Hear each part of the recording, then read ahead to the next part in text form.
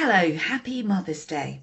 Just to let you know, you can download this beautiful print that Susie has done for us for a Mother's Day gift at the web address below. And we really do look forward to seeing you on Saturday, the 3rd of April at 5 o'clock at St. Bees for our Easter Saturday celebration. Keep well, keep safe, and I look forward to seeing you soon.